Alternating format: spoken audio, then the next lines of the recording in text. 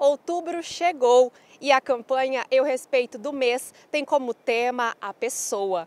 Para celebrar o Dia das Crianças, as brinquedotecas da cidade universitária e dos campos promovem atividades para as crianças atendidas. No campus de Coxim, haverá arrecadação de brinquedos e material escolar.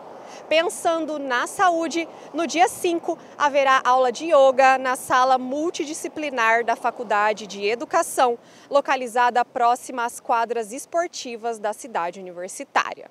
Para celebrar o Dia Internacional da Pessoa Idosa, foi preparado um ciclo de oficinas entre os dias 14 e 21 na cidade universitária.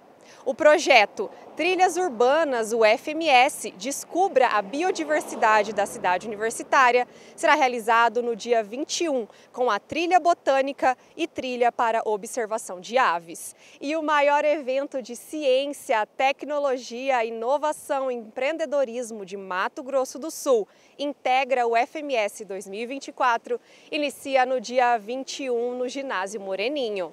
As inscrições para movimentação interna e reingresso nos cursos de graduação serão abertas no dia 21.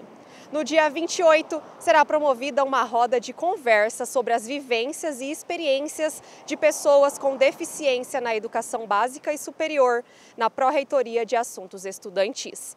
E para encerrar o mês, entre os dias 28 e 31, as bibliotecas da UFMS promovem atividades em alusão à 11ª Semana do Livro e da Biblioteca.